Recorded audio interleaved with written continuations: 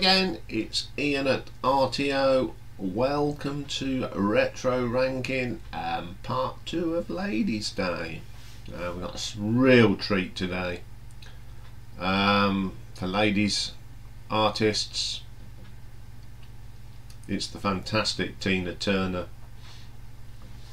Um, Tina Turner, born Anna Mae Bullock, 26th of November 1931. 81 years old and still is the queen of rock and roll. And she's regarded as one of the greatest music artists of the 20th century. Obviously, she started off with Ike and then became a successful um, solo performer. I mean, Tina began her career with Ike's Turner's Kings of the Rhythm in 1957 and she was under the name of Little Ann.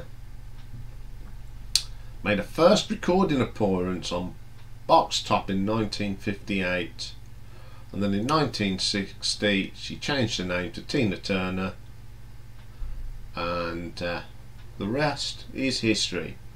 So I've got my favourite top 10 songs by Tina Turner as usual. So here we go. So coming in at number 10 for me is a song that is on Tommy by The Who, who will be featuring on Thursday in Then and Now, and it's Acid Queen. And she does a great version of this. It didn't chart anywhere, which is a shame. But Tina's vocal is on fire.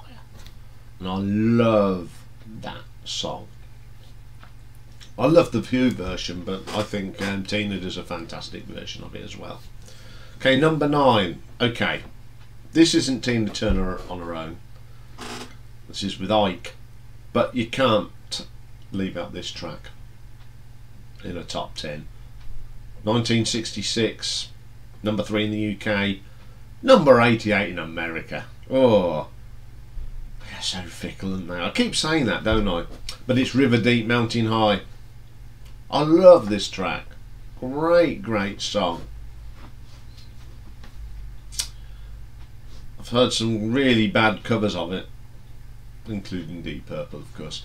Um, but this is truly the best version. Great song. Okay, coming in number 8 then, we go to 1983. Number 6 in the UK, 26 in the USA, Let's Stay Together.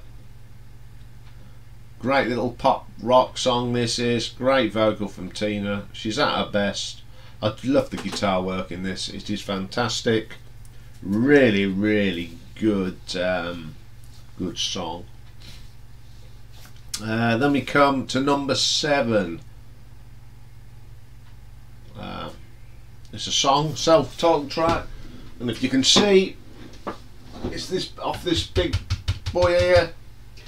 Private Dancer, title track. I love that track. It's outstanding for vocal performance and a great sax um,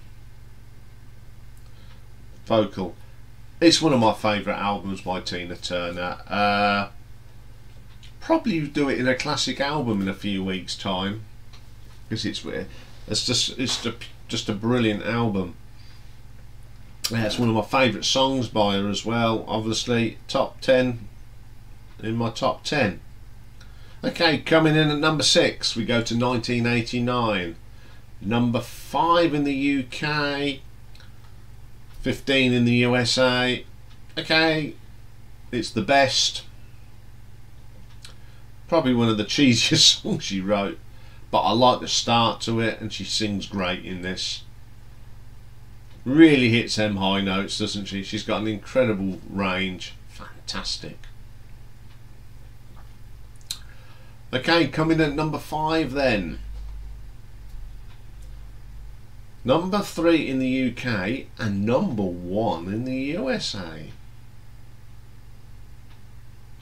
What's Love got to do with it?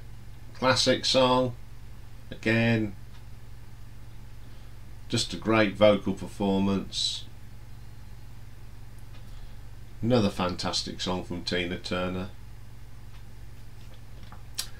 Okay, number four.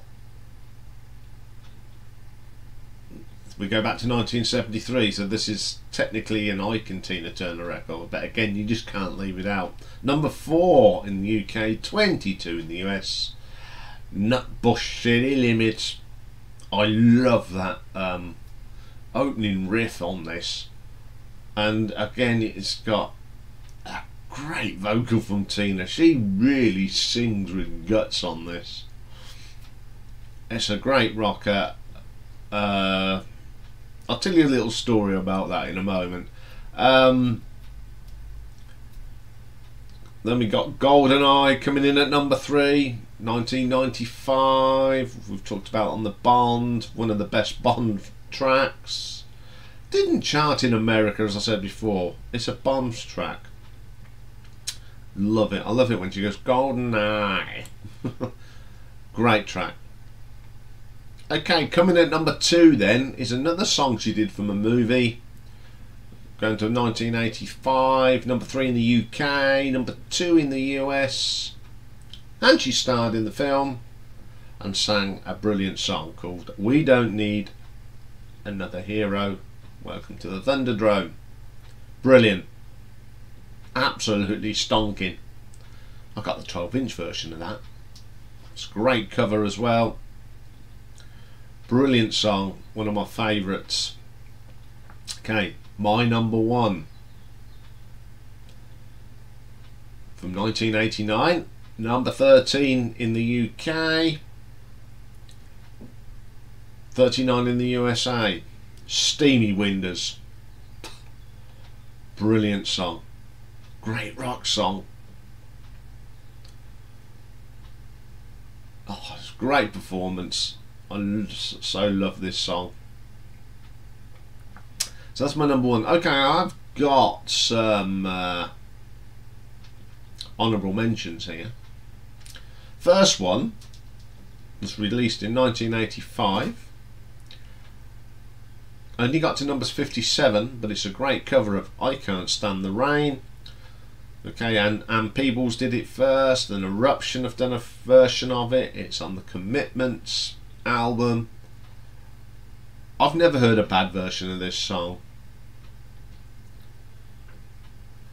Every version of this song I've heard is good. Even Eruptions is fantastic. It's a great song to cover. Uh, again, then she released another uh, cover, a live version, 1988. Only got to number 71, but it's Robert Palmer's Addicted to Love great vocal. There's not many females can pull off the vocal on this, but she can because she has got one of the best voices in the business. Terrific song, great song from Robert Palmer. Again, Robert Palmer's coming up in a retro ranking. Uh, love his stuff. Um, and my final one today, from 1989, got to number 8 in the UK. Uh, I Don't Want to Lose You